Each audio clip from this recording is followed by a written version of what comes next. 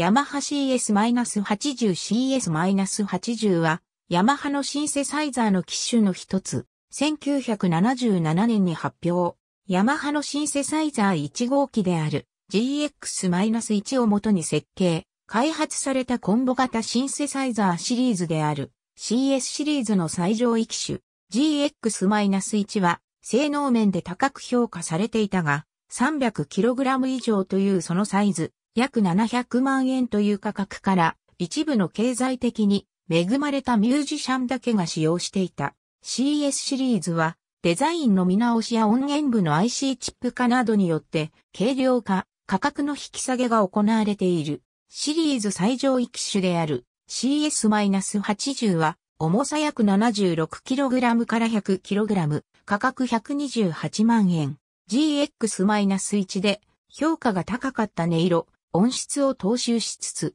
リボンコントローラーの設置など、よりシンセサイザーの特性を活かした演奏がしやすいように工夫されていた。シリーズの中で唯一4種類の音色メモリーが可能だった。ただし当時はコンピューターによるメモリー機能が実用化されていなかったせいもあり、メインパネルと同じ機能を持つミニチュアサイズの補助、操作パネルが設置され、必要に応じて、そのセッティングを呼び出すという方式が採用されている。シリーズで唯一、二つの音源を同時に鳴らすことが可能になっている。この音源部はチューニングが不安定であったため、同時に鳴らすと、ピッチがシンクロしないことが多かった。しかし逆に、それが CS-80 独特のモジュレーションやコーラス効果を生み出し、CS-80 でしか得られないサウンドとして評価されていた。エディ・ジョブソン、UK の参加アルバムやソロ作品のジンク、グリーンアルバムなどで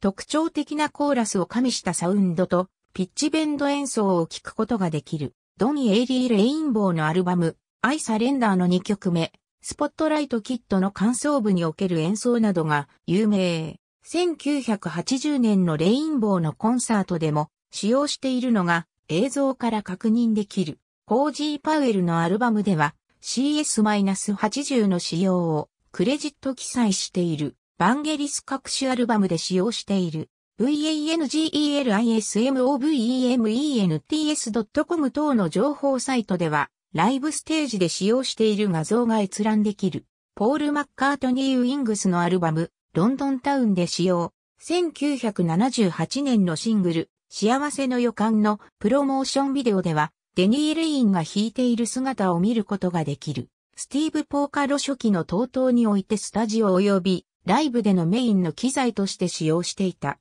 TOTO のプロモーションフィルムでは、ホールド・ザ・ライン、99、ジョージ・ポージー、ロザーナなどの曲で彼が使用している姿を見ることができる。99では実際に録音に使用されている。